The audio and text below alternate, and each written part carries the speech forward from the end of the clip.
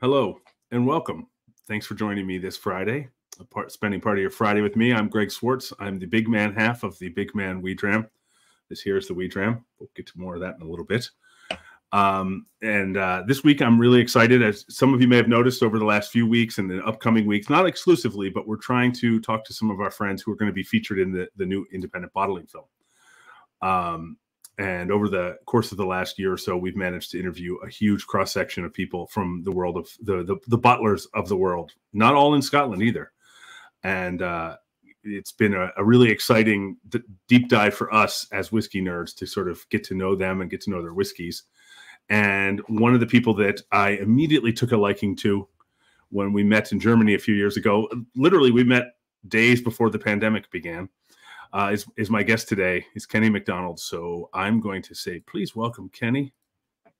Hello, how are you, folks? Thanks for joining me today. Yeah, no, it's absolutely my pleasure, mate. My pleasure. It's funny. It's been a while since I've spoken to you, but I feel like I have because I was just uh, editing footage with you in it with the uh, for the independent bottling film. We were just working on you last week. And and this is why you drink having to listen to me editing me. Actually, you know what? That's one of the good things. At least you can edit me. When it's live, yeah. you're stuck with me. Yeah. No, it's it was great. Your interview is great because uh, you know, one of the things we're trying to do in that film is to create a really good cross section of different bottlers that are big and small, old and new, um, east and west, within Scotland, without and you know um you know getting to talk to you was was awesome because i think that you know you guys are relatively young but uh yeah. yeah you've you've, you've kind of made a splash already. And i met you as part of jim mcewan and friends so that's right. you know that was yeah. uh, um, yeah it's um jim's trouble wherever he goes he just drags people together. He's he's good that way. I, I don't think he can help himself. Um, no no when when you've retired five times there's an issue somewhere. You know, it's funny. Um, uh, his daughter told me that when she was growing up, it never dawned on her as a kid that Islay was a fairly remote place because three or four nights a week there were like groups of tourists over for dinner or whiskey collectors from Hong Kong or a group of people from South Africa or a bunch of Americans or whatever, you know. Yeah, Islay's the center of the world. Everybody knows that. well, you know, it's funny. In our interview with you, you mentioned you you talked about you know getting mentorship from different people throughout the industry. And, and, but i don't know how you met jim. I just met you through jim but i don't know how you met him. Do you know i met jim that's years and years ago. Uh, we'd both been working in switzerland but different jobs. And there had been a, a, a mess with the flight leaving. We were really late leaving. Uh, we were on the same plane but we didn't know each other. Uh, i knew who he was but i, I didn't know him. Uh, and then by the time we get into Schiphol, we'd made up good time. We thought we're going to make a plane, all good, and then just into a holding pattern for the next out page. So we missed our flight, and we had to rebook. So we went to the, the transfer, and Jim standing in the queue in front of me, and we were in that transfer queue for about three hours. So the two of us just had a right good natter. Managed to get our flight changed, and it had to go via somewhere crazy in the south of England. Uh, and the girl gives us a bit of paper. Use that. You don't need a boarding pass. That's that's how you got on your plane. Wonderful. Thank you. So I took Jim to the lounge and we had a drink and we had a natter. All good. I said, Oh, here, come on. Let's get to this flight, Jim. So we get to the plane and the girl at this flyby desk goes, That's not a boarding pass. I'm like, I know it's not a boarding pass. The girl at transfer said, This is all we need. That's not a boarding pass. This is all we need. So she's not letting us on the plane. So I end up saying to Jim, look, you wait here. I'll run back and get this sorted. Ran back, same girl at transfer, livid. I'm coming with you. Right, great. So she storms back down. By the time we get there, there's not a soul there. Everybody's boarded. And the girl says to me, Oh, listen, I was wrong you can get on the plane with that. I went, wonderful, brilliant. Uh, except the plane, the plane's already left the pier. What? What? yeah, the plane's left. I'm like, ah. And I'm looking about. I said, hey, where's the gentleman I was with? Oh, we told him just to get on the plane and wait for you. I'm like, you are joking. So Jim got on the plane and I didn't. Uh, I, this is a, it's been a running joke, this, because the girl managed to squeeze me onto a Glasgow flight right to the death. Business class, everything. Brilliant. I land in Glasgow. I phone Jim to see how he's getting on. He got as far as Exeter or wherever he was going, and the flight home got cancelled. So he was stuck in England, and I was at home. yeah. So that's how I met Mr. McEwan. Uh, wow. Well met. He's a fantastic guy, as you know. I do indeed. And you know, it's funny, you're the second person in a row to tell me a story about meeting Jim that is about airports. Because over the when I was I was in Scotland in June when I saw you, and uh, we were on Islay and we had dinner with Billy Stitchell from Caol Ila. Oh yeah, and, yeah. and he told me that he and Jim got stuck together in the when Terminal Five just opened at Heathrow, like the day or the week it opened. I guess the whole computers crashed and they were there for hours and hours and hours and wound up becoming pals because they were stuck together with everyone. So one of the joys of living in airports, Greg. You know, I'm in airports more than I'm in my own home. So that if you're ever going to meet somebody, if anyone's out there's ever going to bump into me, it's going to be in an airport. I can guarantee it. Hmm. you just got back, right? You were just a, yeah. abroad just I'm now. Always, I'm always just getting back. I was in Poland last week. Really good. Warsaw Whiskey Festival. Um, very, very well organised festival. I was really happy with the way it went. Held in Legia Warsaw's football stadium. So the master classes were all in the executive boxes. It was very posh. It was, it was good. I enjoyed it. But I did have the scariest bedroom in the world. Polish hotels are either incredibly good or incredibly bad. Uh, so I don't know if you saw it on Facebook, Greg, but uh, I will quite happily share with the world my wonderful, relaxing bedroom. How are you meant like to out in that, folks? It's like you were in uh, inside of a LSD well, that, that's, room. That, that's exactly what I said. It's like a 12 year old on acid for decades. uh, but yeah, it was it was a good show. Other than the fact you had to sleep with a welder's mask on, it was a good show.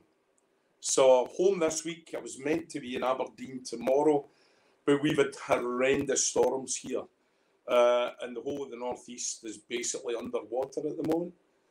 Uh, so it's been cancelled. Well, postponed uh. for another day. Um, and we'll we'll make it back up there another time, but not not this time, I'm afraid. You know, um, it just dawned on me when you said that last weekend. I was just going to say, as if this was a coincidence. It's not a coincidence. It, it was the same thing. Our film was just screened at the Warsaw Whiskey Festival last that? weekend. Yeah, I had no idea. We uh, we had to get um, we added uh, Polish subtitles, and oh, that's we were we were working on it up to the last minute to get Polish subtitles added. So bit by bit, we're adding anytime we, we get an opportunity screen the film in another language region, we add that language. And so we're actually now we're working on Spanish because it looks like we're going to be going to Panama in uh, February.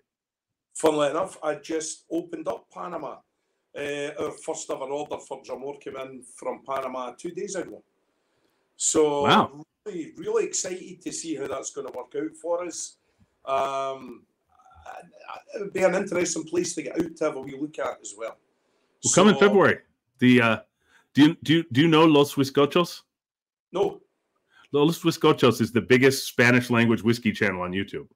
All right. Okay. And uh, it's, it's whiskey reviews, and the guys who run it, they're having an anniversary party for the club from all over Latin America. They're all going to Panama in February, so yeah. that's where I think we're going to be there. Um, they're huge, and uh, I live in Los Angeles. I don't. I speak restaurant Spanish but I don't speak any kind of practical Spanish. But I know lots of people who do. So we're working on Spanish subtitles right now. I, I genuinely struggle with English, Greg. Uh, anything else is just not going to happen for me at all, I'm afraid. Um, very much Victoria's the linguist, not me. So I'll leave that side to her. Uh, and I'm quite fortunate where, obviously, just about everywhere you go, someone can speak English. So it gets you out of a lot of problems. And even if I'm somewhere where it's not easy to find someone that speaks English, nine times out of ten, Victoria can speak the language. So mm. the beauty of marrying somebody that used to be a, a translator for the EU. So quite good. Oh wow, yeah, um, yeah. My I've been studying German for two years, but I'm I'm pretty. I'm not, I'm not. It's not a natural skill of mine. You know. Um, you know, it's uh, something I'm developing you know, bit by bit because you know I think maybe I mentioned to you we're making a film about Bavarian beer. No, I didn't know that. Yeah, and we're done shooting it now, but we're we're we're editing it now, and uh, so we did the interviews. Either I did it with Udo, and he helped me. He would do the translate. If if the person didn't speak English, he would do the interview in German, and we'll translate it later. And if not, yeah. I would do the interview in English. So, oh, he's a nice big lad, Udo. Is that good guy? Yeah, yeah, yeah, absolutely. And he and I, he's been producing this with us. It was his idea when I met you. Is he was sort of pitching us, and then he he sold me. You know, he just he just filled me full of beer and then convinced me. And uh, no, it's been a wonderful experience. The, the, the things that happen to us, it's a disaster, isn't it? It's my only German I've got is um, ein große Bier bitte, zwei große Bier bitte, drei große Bier. So as I can order big beers, I'm a happy man. Yeah. Um, um, uh, Seidler is a regular beer, and a Mass is a one liter beer. Mass, that's a Mass, yeah, yeah. And that's what you need is that big handle, a liter, isn't it? It's yeah, yeah, yeah. Um, it's funny when we were filming it, uh, we hired a gaffer in Germany who sp- speaks fluent English and German, and, and every day I would just walk up to him and whisper something from my Duolingo German lessons that was completely like, "How much are the strawberries today?" Uh, you know, and every he would look for a second, and he would always burst out laughing. It was just became this running joke between us. And every now and then, I send him a text with just something about, "Is my train still on time?" Perfect. Uh, for some reason, I did Duolingo German to try to get a little bit, and all it kept telling me was how to order bread and water. I thought, what kind of restaurant do you think I'm going to in Germany? And I thought, this is terrible. Uh, and I, I, just gave up on it. Um, it's I'm too long in the tooth, Greg. If I was a young man, maybe I might stand a chance. But well, as a crumbling old wreck, nah. one of my one of my German language sentences that comes up all the time, which is very funny, is "Oh no, he's in love with my girlfriend." Um, Seriously? Yeah, yeah. and uh, and a friend of mine told me that one of the ones he got was uh, which one of the children is bloody. Like, what? um, know Duolingo at all? I don't know. I, it's there's a dark side to Duolingo. um, hey, so uh, so our our pal James DiGiulio said, um, "Great, Greg. Now I have to search for Dràm Mòr." Well, you're going to be searching a bit there, James. At least is when you're in the stateside, and that's what I wanted. One of the things I wanted to talk about with Kenny because you know. most of the people who watch this know that this isn't one market. This is 50 markets, and it's it's it's a you know an absolute maze of uh, but but you know what if you'd like to share with people because i think most of the people watching are probably in the states right now um, yeah. tell us what your plans are because i know i'd love to get myself some because i've had them every time i go to scotland i go out of my way to drink Dràm Mòr. You're a good but, man you're keeping me afloat greg. Yeah, uh, probably.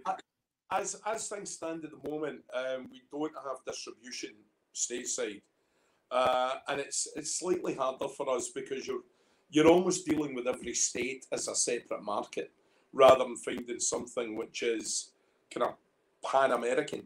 Uh, and for us, the, the it's a very different um, setup to the way that we would distribute alcohol in Europe. Um, Victoria is speaking to a couple of people at the moment, so we are kind of trying to creak that door open a little bit. And I think once we manage to break into one or two states, and we understand ourselves what the process is a wee bit better than we do at the moment, then we can really start to pick up. The, one of the problems that we face is such a big market, and as a bottler of single casks, we're only really getting maybe 270, 300 bottles from every cask. And we've got a lot of different marketplaces that we've got to kind of distribute these, you know, sure. uh, tasks around. So I think taking over, you know, breaking into a market the size of the states what we'll really have to do is, is look long and hard about doing bespoke outturns purely for the American market. Mhm. Uh, that way, instead of splitting it over different countries, I can split it over different states. Sure. Yeah, yeah. You know, and, and And- work it that way. I know some people do like stuff with clubs, you know, because they'll do like the Chicago's a big market or DC because of the Jack Rose or or um, a couple weeks ago, my guest on here was Holly Sidewand, and you know she owns a whiskey shop in upstate New York, and and Holly, I never knew this, but she said because she's saying this as a retailer in New York, she said a lot of independent bottlers get stuck in California because well, uh, what you know, I didn't realize this because I benefit from it, so I don't see it. I don't see the privilege. But you got to figure one out of nine Americans is a Californian. That's how. That's the population differential. Seriously, wow. Yeah. Yeah. So, and California has really pretty cool liquor laws and tons of independent liquor importers. So you add all that together, a lot of she said a lot of like single casks will get to California, and if that retail if that importer can sell that all in California, why would he or she bother going to Nevada or Arizona or Yeah, you know yeah. if they can if they can move it all here, they do, and so it gets stuck here, and so you know there's a huge selection of whiskeys, independent whiskeys, uh, independently bottled whiskeys, small companies that I can get that I can't get when I go back east, or not as easily anymore. That's interesting. That I wasn't aware of. Um, I know, you know, it's, it's, it's a strange setup because, as you're saying, you know, if California's got relatively, you know, liberal alcohol laws that other states certainly don't have, and you have to deal with very much different rules state to state, rather than oh well, we just do X, Y, Z and we're in. Um, but be a learning curve for us. But it's far too good a marketplace for us not to want to get into. Um, definitely, we, we do want to get in there. Uh, it's just finding the right people, and that's key. Is, is spending a bit of time doing a good bit of research to make sure that when you do get that distributor, it's going to be the right person that's looking after your brand in a new market. Uh, and it would also then give me the great excuse to come over the water. Uh, I've been to Canada, but I've never been to the States. Of all the countries I've travelled around, it's the one that's missing at the moment. So, any excuse, I will be across the water, that's for sure. Cool. Well, I, I'll be there for the whiskey and for you. Good luck. uh, you know, so I'm from Pennsylvania, uh, so you know, which is the which has the strictest liquor laws, or definitely top three, bottom three, whatever in the country. So you know, there's a no shortage of uh, crap that I know companies have to jump through because it's all owned by the state. Yeah, yeah, yeah. You know, it's in Pennsylvania, it's sort of the equivalent of like uh, getting your driver's license. Like they're they're state employees. When I was a kid, they used to they used to all all the employees they, they, they've they've made it seem fun now. They've um now they they changed. It used to just say like liquor on the wall, like it was just like you know a, a government office. Now it says like fine wine and good spirits, and they used to wear shirts and ties, like civil servants. Yeah, and now Wow. now it's now it's much more. Now they spend a little money on decor, but not a whole lot. Um, and and the prices are terrible. Uh, so yeah, I So make fun of my friends. You're not going to get that boutique feel when you go into the store then. No, no. But I mean, my, my wife's from New York. Her family all lives in New York, and when I go there, New York is great too. You know, so there's and Holly's stores in New York, which is the best whiskey shop I've been into in the states. I'll Um, have to have a wee look out for that actually. I'll have a nosy. Uh, it's somewhere that is, you know, I think probably next year, all going to plan, we should have our first tentative step into the American market. Uh, and I know that for some people, because I've got quite a few friends in the States who are part of our kind of cask clan, where they've bought casks from us for mainly for fun but uh, as an investment tool. But the beauty of that is um, I get to buy, I get first bite of the cherry when they want to sell their cask. So it works well for me. And I've got a lot of clients now in the States, um, mainly New York, but all the way down to there's a lad in Austin in Texas. Uh, Mhm. So I've got I've got a lot of folk over there who it would be really nice to catch up with. All I've ever done speak to them, you know, that we were doing today, and it would be lovely to get the opportunity to actually sit down and talk with them. Uh, that's you know, it's funny because I've started well. Uh, it, I, we could I could go off on that for all day long, but about casks and stuff like that. With you know, because I want to what I want to do is talk a little bit about your process of, you know, you were a a smaller bottler, a newer bottler, and yeah. I have to think I'm I'm going to go out on a limb here, but I have to think that you the the whiskeys in those bottles really reflect your taste and your wife's taste, probably right. To a degree, Greg. To a degree, I think it's one of the things that certainly when we started, that that was very true. Um, but the more the more you start to build, the more that you realise that you've got to make whiskey for everybody, not just for yourself. You know, so if if I'm looking at certain finishes on a dram. I, am quite partial to simple refill bourbon casks. I, I, I think it really allows the spirit to sing through the oak. And the one thing i am really kind of not happy with is sometimes when people finish their whiskies, they do it way too heavy handed and it wipes out that classic distillery style that comes through the whiskey. But at the same time, I also know that people like some of these great big heavy flavours.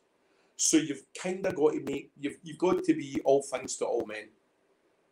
So that mm-hmm. you've got an offering there that no matter what your flavour or your, your kind of palate preferences, there's going to be something on offer that works for you. Um, but yeah, I, I, was very guilty at the beginning. I'm making everything to suit me forgetting that I'm not the one that's going to be drinking it all. Although yeah. I do a damn good effort. Uh, but yeah, it's, it's nice to spread the love sometimes. Um, hey, before I lose this, this is here. This is some practical, you know. Uh, so our pal at, at, Donner Pass Whiskey says K and L Wine, which the retailer is just down the street from me. I was there yesterday. Brilliant. Good place to start. Big independent bottle customer. They they definitely do. I mean, they have tons of Hunter Laing, Douglas Laing, yeah, maybe not quite so much Gordon and MacPhail, but uh, yeah, they definitely do. I think, but um, so I was hold on, I was there yesterday picking this up. I had it uh, at the weekend uh, when I was I've not, in Poland. Hearach. I've not had it yet. It's, yeah, but for a very young whiskey, it's impressive, Greg. Um, I was quite happy with it. I, I bought uh, a couple of bottles of it when it was released a couple of weeks ago but again, I've, I've not opened mine either. Uh, and it just so happened when we were working in Warsaw, the lad right across from me had the Hearach. And I thought, oh, I need to try that. So I went over and had a wee, a wee look at it. Um, gently peated, not anything, nowhere near your kind of Lagavulin, Laphroaig levels, nothing like that. Really gentle, nice, easygoing dram. So it's still very young. But for me, it's always good to look at these things at that age because it gives you a really good indication where it's going to go. And mm-hmm. that for it's a really good start. Put it that way. And am I am I right in remembering that maybe you're uh, you're you're not a, a Hearach yourself, but you're half a one? Oh, Lewis. Okay, Lewis.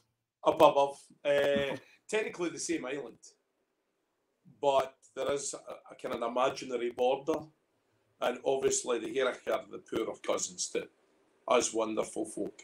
Uh, and there's always this kind of back and forth. It's well natured, tongue in cheek about who who's better than who.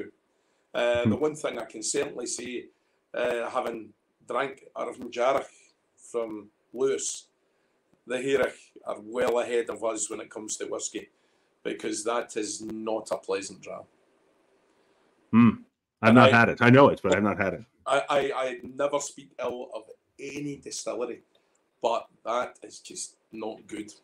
And it's only seven miles away from our village. So that should be my local dram. But no, nah, it's not good. So the Hearach are miles ahead of us when it comes to whiskey. You know, I've never been to Harris or Lewis. Um, oh, you've got I've, to go. I, I want to. I've always wanted to. I also want to go to Shetland, and I've never been to Orkney. No, neither um, have I. Enough. Uh, it's one of these funny things that islanders in Scotland have a tendency just to stick to their own island. You never really go visiting other people's. And when my dad was still alive, I, I was going to, where was I going? Arran. And he just happened to mention, I've never been to Arran. I'm like, Dad, it's only 40 minutes in a ferry. Went, yeah, yeah, I, have never been. And it's a stunningly beautiful island. Like, you've never been to Islay, Dad? Nah, I've not been there either. What about Mull? Nah, I've not been there either. Ah. Uh, but we're, we're bad for that. You know, you just keep going home and that's it. You stick to your yeah. island, nothing else. So I've kind of broken the mold a little bit with that one. Uh, well, which I'm delighted about. Um, I've been to Scotland.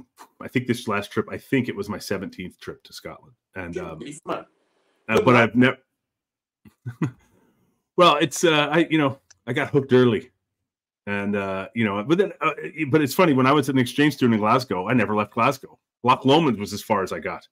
Yeah, you know, you know, uh, Glasgow's a great city. There's there's so much to do, so much to enjoy about Glasgow. You're quite happy to stay. And I had a very limited amount of money, and that money needed to go into whiskey and beer. Of course it did. Yeah, you've you've got to prioritize, Greg. Right, exactly. and it's the uh, the student union had 99 pence pints. Where did you study?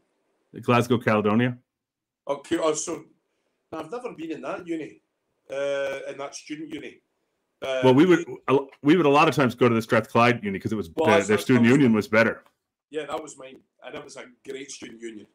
Yeah, you could hear the uh, music outside of it before you'd even go in the building. Right? Oh, the place was bouncing nobody ever studied. They just went to Strathclyde so they could get into that union. Uh, so, so many bars. It was what three bars in a nightclub? Yeah, not bad at you, all. Do you know what's funny is uh, one time we were in the Glasgow Student Union and I, the the jukebox would have an hours long queue of music lined up in it, and my pal and I were looking at what we wanted to play, and we'd had quite a few pints, and one of us, I don't remember who, probably me, slipped and bumped the plug and it unplugged the jukebox. Oh. So, so we plugged it back in as quick as we could and just started hitting numbers because then people started showing up wondering what had happened.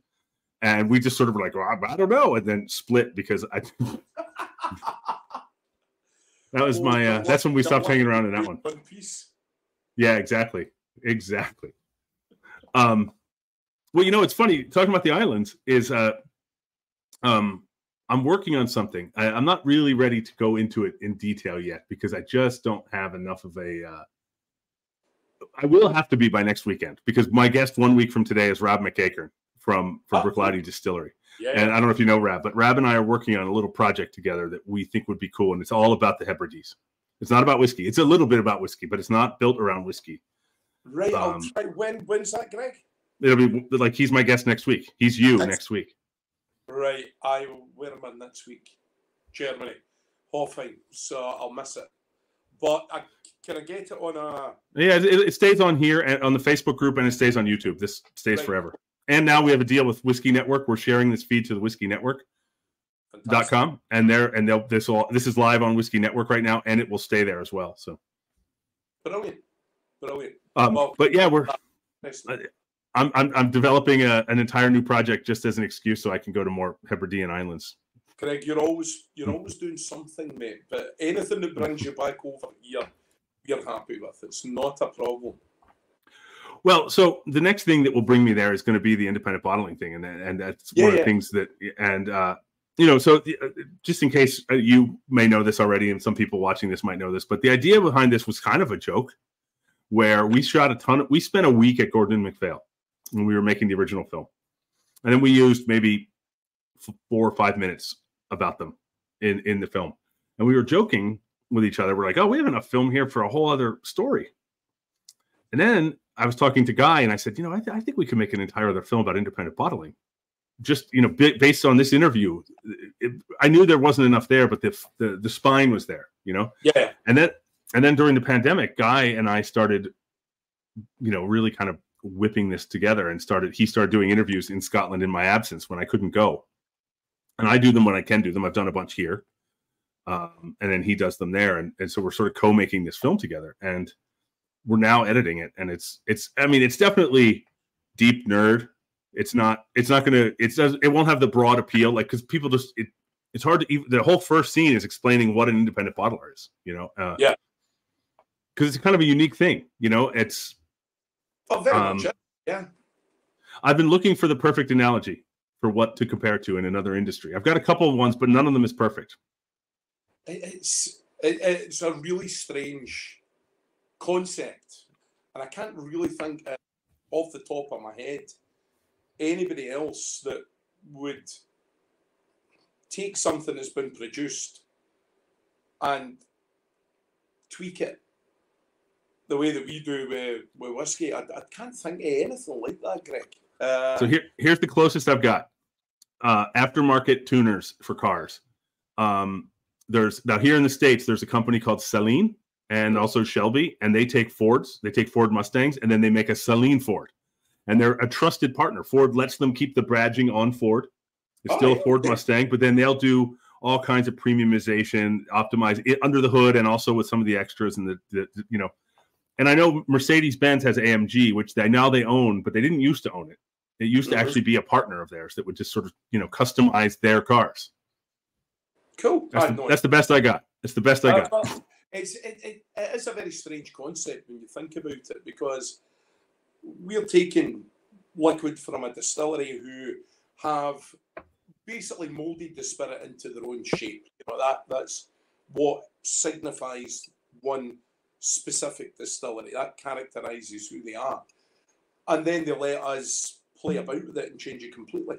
Which, uh, when you think about it, is a kind of strange concept but it also allows them to have their spirit showcased in so many different ways that especially if you're concentrating on a core range of 10 12 15 18 21 year old whiskey you can't really be crazily inventive and, and adventurous. You've got to do what everybody expects you to do. So by allowing us to play with them you you get to showcase the spirit in completely different ways. But that then has a massive, for me anyway, I, I think it's massively important that I show that spirit the utmost respect. Because if I don't, then I could be damaging their reputation. If, if I make a bad job of, say, um, Craig for example, and someone tries it and they've never had Craig before, I've made a mess of it. Do I get the blame? Well, in the short term, yeah. But in the long term, it's Craigellachie that gets the blame. Because if someone says years down the line, listen, I've got a Craigellachie, would you like to try it? No, I've tried it before, it's no good. So it's massively incumbent on us as independent bottlers to make sure that when we put that spirit out there for people to buy, it has to be the very best that we can do. Because it's not our name, all right, it is our name on the label, but it's not just our name, it's their reputation on the line as well. So we've got to strive to make sure that we get it just on the button. Yeah, yeah. I you know it's funny because I the, I can give you a personal example of that. I I don't. It's been years and years, but the first time I ever heard, let alone tasted, of a Glentauchers was an independent bottling. Yeah. I never knew what that was, and I, was, and I remember looking at this bottle, thinking, "Hmm, I don't know what this is." I don't remember. Yeah, I do. If now that I think of it, I do remember who the bottler was. But I, but but in either case, if I had disliked it, which I actually quite liked it, you know, if I disliked it, I would have never sought it out again. Yeah, yeah. And, and, and the flip side is Dailuaine. Um, I, I really love independently bottled Dailuaines, and uh, you know they're, they're very rare as official bottling. So you know I've had Yep. them all all of the ones I have. I have two two bottles of them. Well, three. I have an official bottling, and then I have two independent bottlings right now. And I and I I discovered those through independent bottlers too. Had I not liked it, I probably would have never gotten the other ones. Yeah, well, that's it. It's, I think, for us, I, one of the things that kind of keeps us, not just Dràm Mòr, but independent bottlers in general, really striving to make sure that we get it right, is our reputation is only as good as our last bottling. The minute you put something out there that's poor, then folk will walk away from you. They won't come back. Any anyone can sell a bottle of whiskey getting someone to come back and buy more, that's the trick. And if you give them a hundred percent quality every time, then they're going to come back over and over and over. The minute you drop the ball, you're only as good as your last ball. It doesn't matter if you've had 10, 12, 20 years of incredible drams. The minute you give them something poor, they're not going to rush back and buy the next one. So it's, it's really important that we keep that standard as high as is humanly possible. Do you think that after a long time, like uh, say a customer you have who's been buying every release you do, they're buying at least one or two bottles, every one. Yeah. At a certain point, you probably have earned yourself enough uh, credibility to to you could make a misstep and they'll they'll say, okay, I don't like that one, but though, but uh, you know, you still have to get over whatever that hump is. I don't. It's probably different for each person. Yeah, possibly. Uh, but should I expect them to come back and buy again? No. Yeah, yeah. If I don't drop the ball, then I'm going to be very disappointed if somebody walks away from us. Can you think, well, I've done everything I can possibly do to make sure that the spirit going into your glass is as good as it's going to get. So why would you turn your back on me? That that would annoy me. Mm-hmm. But if I did drop the ball and someone was to walk away from me, or, or even cut me some slack, I would still be very, very disappointed in myself because I've let that customer down. And it's the one thing that I'll say in every masterclass, every festival, whatever we're doing. Dràm Mòr's not a brand. Dràm Mòr is a promise from me Hmm. to my customers that what is in that bottle is exceptional. If it's not exceptional, I will not bottle it. I'll sell it to somebody else. They might bottle it like that. That's fine. That's up to them. But if it is not exceptional, it is not going in a Dràm Mòr bottle. And that then instills genuine trust in people. When when they see that bottle on the shelf, they know they're going to get something good. I can't always tick the box for your favourite flavour profile, but I can definitely make sure that whatever you're getting is top quality. So that's that's the key. Graham, how are we? Hello, Graham. I just wanted to throw that up there because I know he was rushing. He wanted to join us, but he was on the train from Campbeltown. It's a long sounds like it sounds like the name of a song. It does a wee bit, yeah, I agree. I've got to warn you. I, as you know, Greg, before we came on air, I have had massive technical difficulties because my laptop wouldn't open things up. So I've had to plug my iPad in. And StreamYard is a greedy sod. And even though it's plugged in, the battery's still going down. so what might happen if I suddenly vanish? Give me a couple of minutes, I'll find something else and I'll reappear. Well, It's for what just- it's worth, we've only got 20 more minutes max, and these are as long as they are. They're not as long. There's no set time. Three percent. Ah, Funny feeling, and we started off at seventeen percent. So this is this is a hungry animal. This StreamYard. What I might try and do is Can log in, log in my phone at the moment, and then I can kill this and come on with my phone. Sorry, If you-. It's all, it's okay. Do you have um, if, if you're using the small plug, like a phone plug to charge your iPad? That's probably why, because you know your iPad has that bigger plug, but Good the point. but the, good point. the wee one will do it. Think McDonald's. uh, that's um, late. Give me two seconds. I'll get the boss. Yeah. and get for me. Oh. I'm uh, I'll, I'll show people what I'm drinking while you're gone. So I'm drinking. Uh, I don't. I, as I said earlier, folks, I don't have any of Kenny's whiskeys here because they're not for sale in the states yet. So I'm drinking Ralphie's last bottling, which is this Caol Ila, which has. Uh, I won't bore you. but It has an insanely long uh, label. Uh, but it's a 10 year old Caol Ila, nine years in a Pomerol Barrique, and one year in an Oloroso Hogshead. Um, and it's delicious.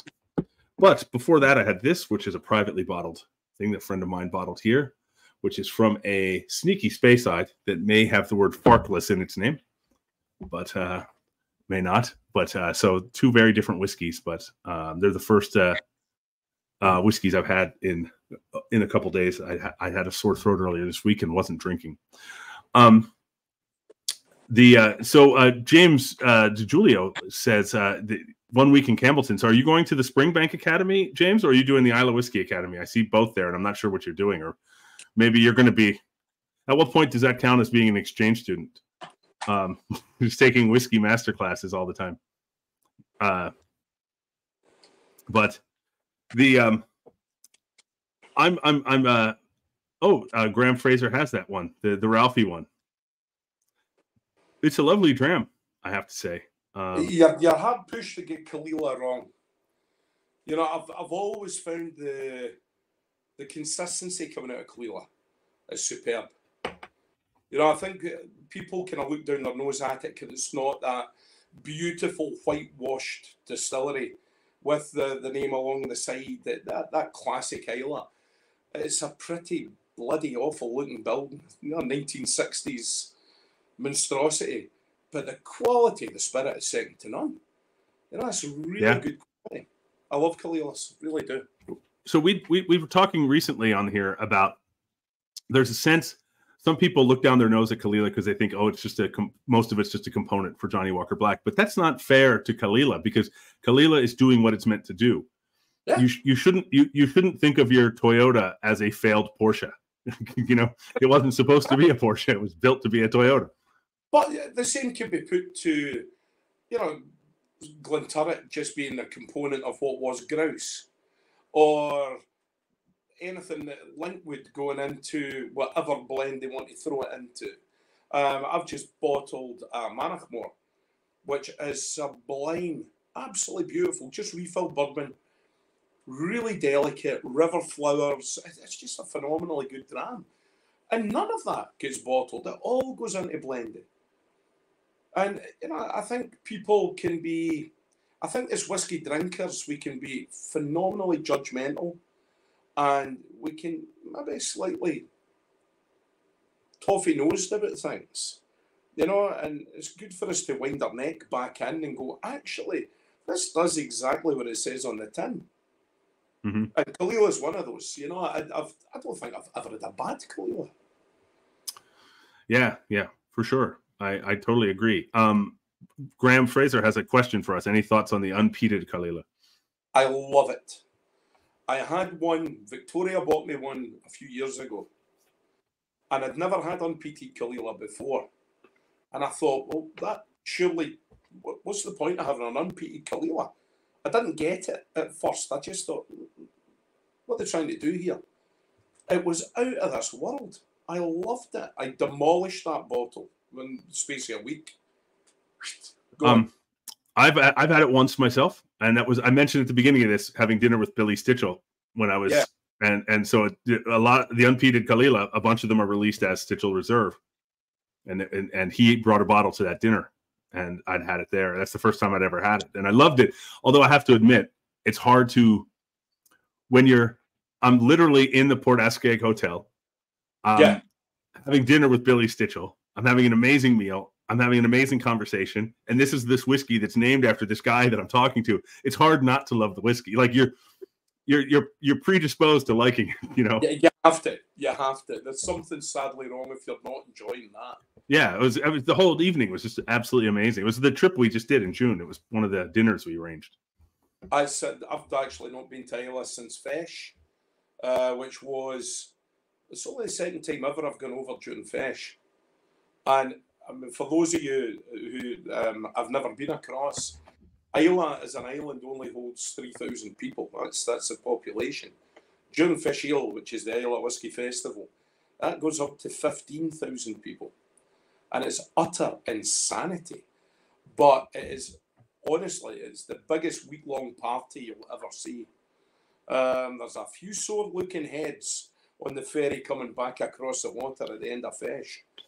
Uh, and, and yes, Graham, you're right. Mannochmore is an equally ugly distillery. I will give you that. Uh, but we went this year, and for the first time, I wasn't aware there was an independent bottlers section to Feis Ile. Mm-hmm. One day at Ramsay Hall, and we were invited across. And I don't normally, I'm not a big supporter of our own whisky festivals in Scotland because they are massively that, that some of the bad behaviour is ridiculous. Is people have paid forty pounds for a ticket, and they're going to drink four hundred pounds worth of whiskey. You know, it's very much the last man standing approach, and unlike all the festivals in the rest of Europe, we don't pay for our drams at festivals. You pay for your entry ticket, you get an empty glass, a bottle of water, and a map. And they go, go and help yourself. So basically, all we're doing is pouring really good quality alcohol down people's throats who are so taste blind because they're that drunk. They, they wouldn't know what they were drinking from one to another. But that one in Ramsay Hall, I was really, really impressed with. Uh, I'll, I'll definitely do that one again. And we're allowed to sell direct from that as well. So we went with a car where basically the back wheels were right down on the ground and the front wheels were coming off the floor. And we went home with next to nothing. So that was that was really good. But if anybody's ever coming across the water, Feis is one to look at. That's for sure.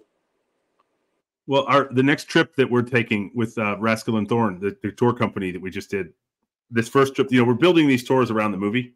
So the first yeah. tour was on Islay. the second tour is Speyside and Highlands, and we're we purposely picked dates to begin. The tour begins the day the Spirit of Speyside ends, which I've never been to. So uh, I've been as a just as a guest, uh, um, which is really good. You know, uh, just as a as a whiskey fan. Uh, yeah, it's lovely to do that now and again. And unfortunately, when you spend all your time in the business, you don't really have a lot of opportunity to go and do these things for fun anymore. Everything is just work related all the time. But it's lovely just to take your drummer hat off and just go as an ordinary punter to these things. Mm-hmm.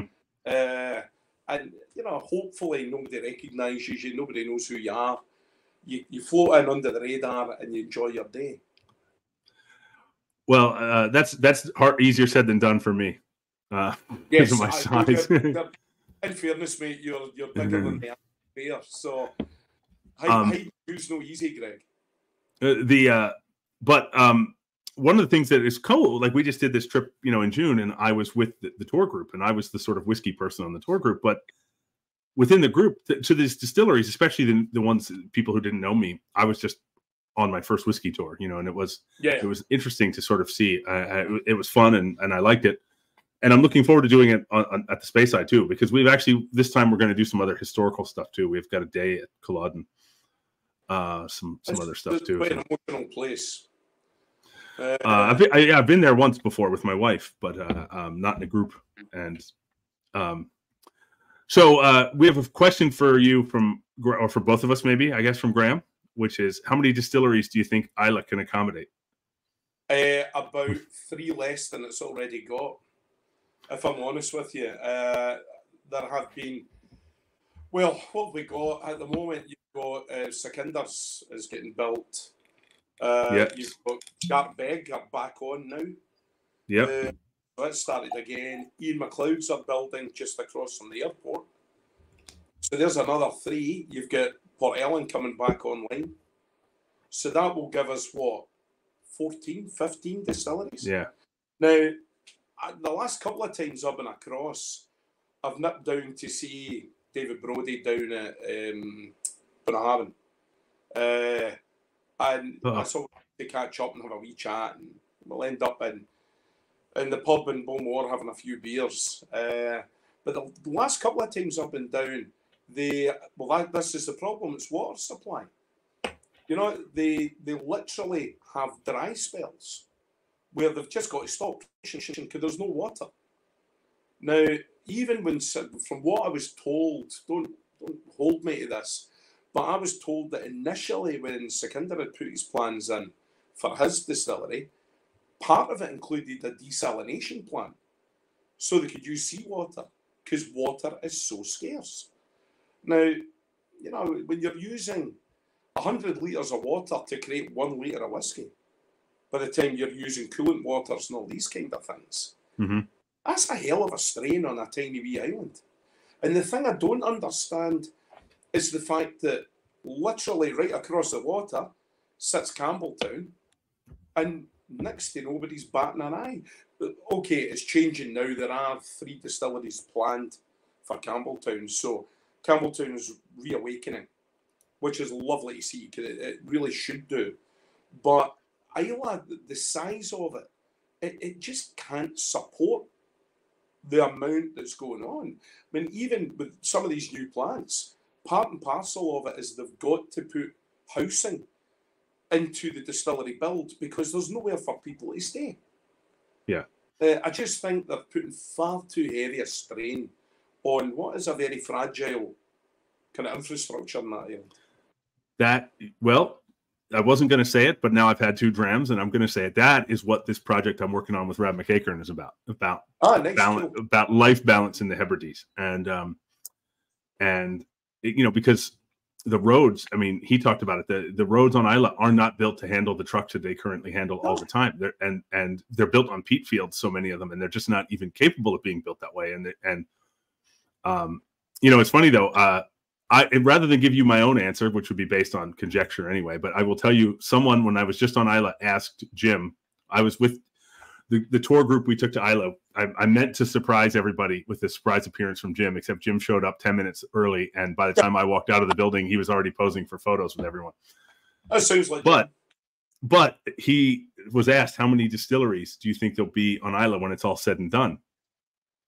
And he said, uh, 10 or 11. And someone said, but there's already been more than that uh, given approval. And he said, approval's not built. And he said, I didn't say the number won't go up before it goes back down. Yeah, yeah. Um, I think he's right with that. I, I, and there's only the, the, the beauty with Islay whiskies are they're unique. Now, if you keep creating more and more and more and more Islay whiskies, where's the fun? You know, you don't have that uniqueness anymore. You've, mm-hmm. you've got this crazy amount coming out from Islay. And this is before all the new ones come on. Uh, you know, I just think is losing its way. And I think that the classic distilleries that have stood there, and you know, okay, is a stunning distillery with a beautiful view, and I think they'll probably do a brilliant job.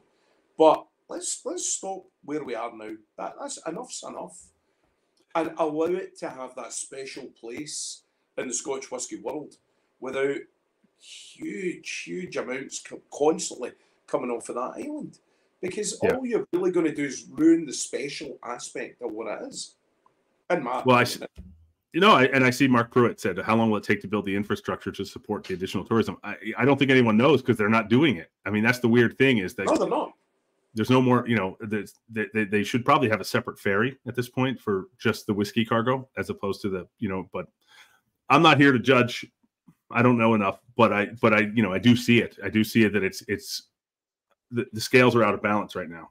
Oh, very much. Um, I mean, to a degree, you know, the, the people of Islay are massively benefiting from it because it brings a huge amount of money to the island. But something's got to give at some mm-hmm. stage. Mm-hmm. And the, the big problem is the water. You know, anything else you can bring across, but you need the water. And if it's not well, there, it was well when I was there in June. A lot of the distilleries had stopped producing because it was there was a bit of mini drought there, and then they, they were uh, was on their last mash while we were there. They were going to stop, and I think Bruichladdich moved their silent season up a week because they were the water was so low. They figured just move it up. Yeah. So um, perfect sense. And that's, then of course, yeah, Graham says about the the, the malts from Port Ellen and yeah. I know Bruichladdich building a floor malting, but that's only for that's not even going to be 100% of Bruichladdich. It's going to be a very small percentage of what they can produce. So it, yeah, I, I, think it will probably be along the lines of what you've got with some like Balvenie, where they've got their maltings there, but it's only a fraction of what they actually need. Uh, I think it's more from a tourist perspective rather than anything else. And you've well, got the gimmick of using your own peat in, say, week of peat or whatever. Well, I think with Bruichladdich, it's because they do the uh, of a Bruichladdich and an Octomore and a Port Charlotte. There is an Islay only version, and that way, the, that way the barley never leaves the island until it's in a yeah, bottle. Yeah, yeah. Because yeah. right now it has to go back to the mainland and back, and so that's you know that's only gonna, the Islay barley will be the ones they're going to do it with. But yeah, I, I um, the mo- on the question of peat, I think we should be all right with that. I know that we have. There's been legislation passed over here that um, peat can no longer be used for things like um, garden centres, where you used to buy bags of peat for, for flowers and whatnot. But there was special dispensation given both to the whisky industry and to crofters who still cut the peats and use them as fuel. Um, and all my family for years and years. That's the only fuel source they had. Uh, and the peat banks are very well looked after. They're lovingly cared for. Obviously, it's a finite resource, but I think there is a there's enough peat on Islay that can last them another millennia. So, well, um, do you do you know Ben Shakespeare? I know the name because he's a wouldn't know that name. he's he, well, I got to tell you, I was I was teasing Ben about this. I was like, you know, you're not keeping up the family name. you're doing you're doing well, but you're not keeping up the family name. You're going to have to step it up a notch. He's a photographer on Islay, and he's a great guy. And um, he was telling me that Laphroaig actually has been doing some really interesting experiments on how better to cut peat sustainably. And I know the most obvious one is not cutting the top layer because that yeah. helps keep it sealed in. And they, they, I guess they've developed a special sort of uh, cutting implement, not like a peat cutter, but like a, an automated one that, that will uh, it literally will lift it up, cut it out, and put it back down all in one pass. That and he he was filming it or or photograph, I, photographing. I wish someone had invented that when I was a boy because it's bloody backbreaking work. I'll tell you, it's murder. Um, these things, you got to remember when we're cutting these out of the ground, they are soaking wet. So it weighs a ton. Uh, but yeah, I would have loved one of those when I was a kid. That's for sure. Uh, most important question we've been asked today Kenny, can you sing like David Brody? I will tell you this I, I don't know. I've heard both of them sing. Kenny was singing when I met him, or well, shortly after I met him. I have a video of Kenny singing "Flower of Scotland" to a room full of 300 Germans. Everybody has um, a of me singing at some stage. there is a yeah. I'll tell you the story of how I ended up getting harangued into singing. So my very first ever international whiskey festival, we're in Belgium in Ghent. One of my favourite cities to go to. Lovely place. And uh, at the end of the night, Victoria had come with me, and we're all sitting with one of the big uh, Belgian whisky clubs. There were a few other folk, Ian McWilliams from Glenfarclas, Big Shelton was there, a few of the our guys. And Victoria kind of looks at her watch and ah, that's 12 o'clock, that's about bedtime. And I was like a wee child. I was like, oh, I'm having fun. She went, oh, no, no, no, no. You're the new boy. You're staying out to play. I'm going to bed. I'm like, am I? She went, yeah. Make sure you don't come in at six in the morning. I'm like, right, okay, no problem. And away she goes. So a couple of minutes later, I'm sitting playing on my phone, talking to my sons about football. And all I hear is, ooh. I'm like, what? There's a woman just walked past you, big man, seriously giving you the eye. I went, yeah, yeah, yeah. My wife's out the door two minutes and you're starting winding me up. I'm not taking you on. Back to my phone. A couple of minutes later, ooh, I'm like, what is it? She just walked past you, still giving you the eye, mate. And I looked, and right enough, really attractive woman in a green dress staring at me. I thought, well, that's nice. Just proves I'm not dead yet. That's good. And a couple of minutes later, a wee guy comes round the corner who's obviously fallen straight off a 1973 big kipper tie, sweep over hairdo. He's looking around. I'm wearing a kilt, and Ian McWilliams is wearing a kilt. He sees Ian, and he goes and do do do do do. And all I can hear Ian saying is, "No, no, no, no, no, I can't do that. No, I can't." But he can. And the wee guy goes, "Wonderful," and vanishes, and the table falls silent. I'm like, what is it now? I'm like, Ian, who's that wee guy? Ah, that wee guy's the husband of the girl in the green dress. And I thought, oh. And, and all I can hear is Ian saying, I can't, but he can. And you do not want to know the images that are flashing through my brain. I'm going, what the hell did he just ask you? Ah, well, his wife saw a guy in a kilt and she really wants him to sing her a Scottish song. And I thought, oh, thank God for that. I thought, and you said? Well, I said I couldn't, but you can. I'm like, oh. so I had to stand up at a table and sing. And obviously, Flower of Scotland was the only thing I could remember all the words to. Shilton Almeida hiding in the corner videoed the whole damn thing. The next day at work, sold it to Victoria for a glass of whiskey. So she had the video. I was like, ah, and it went it, from there on in. It went rampant right the way through. Wow. Well, then I should have. I didn't sell mine, but I have a video of you and you know at the at the Jim McEwan and friends. Uh, that was shot shot on three cameras. That was crazy. That was the best master class. I, I what was there, 300 people or something crazy like that? Yeah, yeah. Um, I've got a selfie on stage, and behind me it looks like we've been at a football match, not a whiskey tasting. But what a laugh that was! And ah, yes, it's easy enough to sing a song, you know. So long as I'm not being judged on it, you know, I'm certainly not going to give up whiskey and take up professional singing anytime soon. That's for sure. Well, uh, James DiGiulio said uh, David makes Buna better. Um, yeah, David singing. I, you know, I've I, have i have I've done I've done David's Warehouse Nine tastings a couple times, but he's never sung during them. I just know he is well, a singer.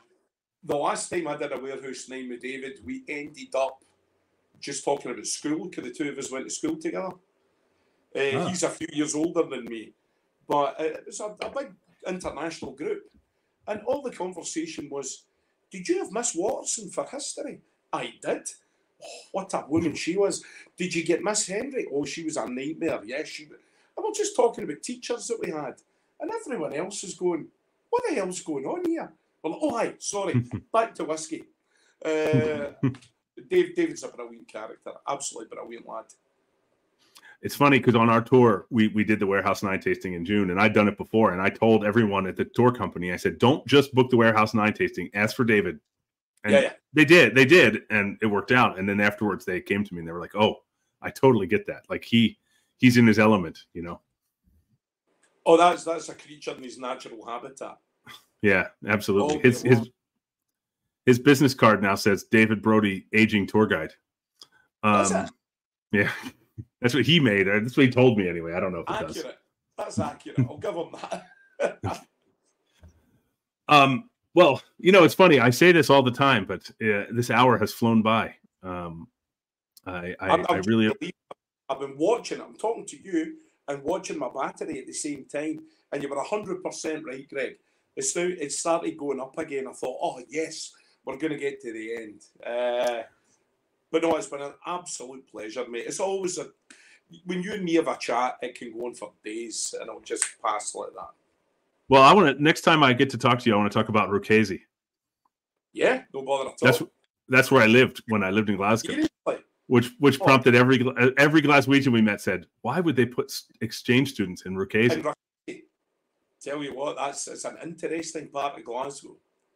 Yeah, um, Roy Duff said, "Oh, well, how did he word it? It was perfect. He said, "Well, you've gotten yourself a thicker slice of Glasgow there." A hundred percent right. Yeah, um, warts and all. Uh, an interesting place. It's the sort of place um, you don't walk through; you run through. Well, it's funny because people kept warning us, and then the day we got there, like a bunch of kids, a bunch of little suit wearing kids in the in the housing oh, estate came up to us, and and I thought, oh, here it is. And you know what they asked me? The first thing they asked me, well, the first thing they asked me is, "Are you an American?" yes. Do you know Eddie Murphy? That was that was. of course. No, I don't. Sorry, sorry, I don't. But I'll I'll, I'll try harder. See that, um, must, we do get that, especially from like when tourists come over from the states. They'll go, "I've got a friend. You must know them." Like, well, there's five and a half million of us. How, how must I know him? But no, no, you must know him. And sometimes, bizarrely, I've had it once. I thought, oh, you're from Lewis? I mean, yeah, it's the, the family home and stuff. All right, you'll know this guy. And I thought, oh, here we go. And whoever, I can't remember who, oh, it was Ian George. They came away with a name, and I'm like, he's actually my second cousin. Yeah, I do know him. I'm like, oh, damn, I've just disproved this. But yeah, small world. Well, I don't know Eddie Murphy. To this day, I've I've failed I've failed it. I do not know Eddie Murphy. Why I even bother talking to you, I do not know. What's the point? If you can't introduce me Eddie Murphy, you're no good to me. Um, well, I will see you in a few months, my friend, uh, if not sooner. Yeah. And but when you come here, we'll do some we'll do some fun stuff. We'll, I would we'll, love. We'll, we can also do some fun whiskey stuff all over LA with uh, the whiskey scene here. The whiskey clubs here would all be thrilled to pour some Dràm Mòr. Sounds incredible, mate, and we will get there at some stage. That's a promise. But uh, thank you so much for having me. It's been a, an absolute pleasure, mate. Oh, always, man. Thank you. Thanks so much for spending part of your Friday with me, buddy. More than Cheers. welcome, mate. I- I'm on Irn-Bru because I'm suffering a bit after last night's overindulgence. Slancher. Sláinte.